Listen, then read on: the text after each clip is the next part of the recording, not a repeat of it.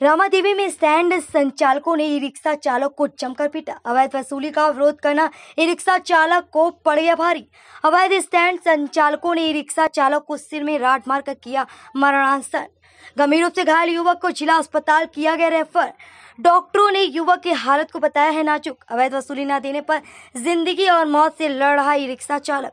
Police सूत्रों के मुताबिक भाजपाइयों की शह पर चल रहे अवैध स्टैंड।